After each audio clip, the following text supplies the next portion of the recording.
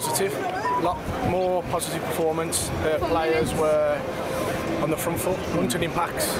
Um, even if it was a draw, mm. I'd still be happy with the performance. It's been a lot better than what we've seen in the last 12, 18 months. No, the, the result's the most important thing. I mean, obviously, one, one new manager in ASAP.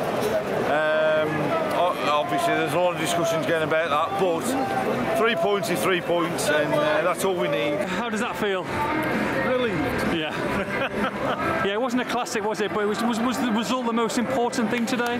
Well, um, we, we took anything today, and, you know, I think we deserved it. We should have already finished the top time. We had enough chances. And uh, well, the main thing is we've got three points. We did create a lot more chances. Come on! Traore has created chances. It's just obviously the final product again. But at least we're creating them. At least we're creating them again. Buzzing about the, the result and the performance. And it's a lot more positive. Positivity is the biggest the biggest word I'd say from the day. What about that Sa save? Massive, yeah? Brilliant save. Strong hand. Was that his bad on? No, I think so, yeah. Yeah, yeah. Well, they're, they're both good at the moment, aren't they? So uh, great, great save. Won us the game in the end, but I think overall we deserved it. Um, I like Costa. I like Costa's passion. Uh, he didn't get given the ball, but I loved his passion, um, and that's that's massive. Yeah. Um, I thought Podence worked hard, and I thought um, I thought Nunes and Neves worked very well in the middle today. New manager comes in, puts his stamp on. He's got, he's got plenty of good players to work with whoever comes in. Yeah.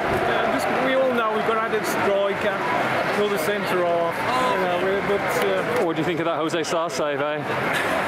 brilliant. it was, uh, like I say, relief out there the other day. I think uh, but we deserved it. We did deserve it. Yeah, well, uh, look, two more big games come to come with, with Palace on Tuesday night, Leicester City on Sunday. Want to see a new manager in by, by Sunday? Would you like to see? Uh, well, apparently it's Nuno, isn't it? I'd love it personally. Uh, I didn't want him to go in the first place, and I think he'd give a vibe and a buzz like we've got today from the performance. And Nuno coming back would create that and then create that buzz again. Um, look, Jose Sa, big save that. Yeah, yeah, so it was massive, wasn't it? I mean, considering he's meant to be playing with a broken hand, you know, brilliant, brilliant save, massive save.